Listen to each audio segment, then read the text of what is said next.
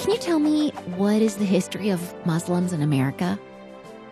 There were Muslims on Columbus's ship and traveling with explorers all around the New World up to a third of all enslaved peoples were Muslim, and the White House was built by enslaved peoples. So it's reasonable to expect Muslims helped build the White House. Did we have any relations with Muslim countries in those early days? Have you heard of the United States Marine Corps song from the halls of Montezuma mm, to, the, to the shores of Tripoli? That's yes. It. Well, Tripoli is in modern day Libya, and the reason that's in the song is because we were allies with them.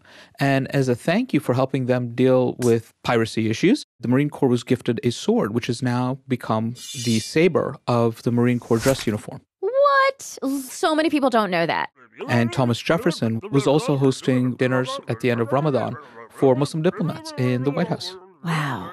Jefferson once said that he knows the American experiment is a success when we can get a Muslim as a president.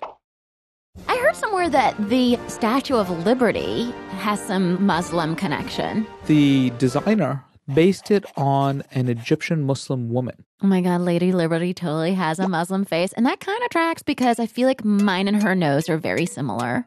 And we get town names like Allah, Arizona, and Muhammad, Illinois, named after the Prophet Muhammad. These towns were not predominantly Muslim. They got these names as a sign of respect Americans had for Muslim cultures, Muslim civilization, Muslim people. Do they build any mosques up in these towns? Two of the oldest we have are in Ross, North Dakota, and Cedar Rapids, Iowa. Cedar Rapids, Iowa. I would feel like that's the place you would say has the first Applebee's, not the first mosque. We can look at the ways Muslims have inspired American architecture, but we can't forget the people like Malcolm X and Muhammad Ali, who were turning to Islam to recover their heritage that had been taken away from them, and to say that you can't claim that there's only one way to be American.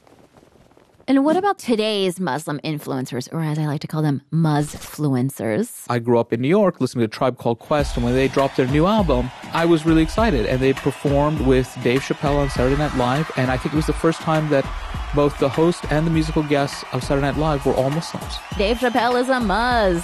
He is. So is Ice Cube. Uh, DJ Khaled, French Montana. Shaquille O'Neal. Shaquille O'Neal. In the Olympics, we had two American Muslim women, Ibtihaj Muhammad in fencing and Dalilah Muhammad, who won a gold in track and field.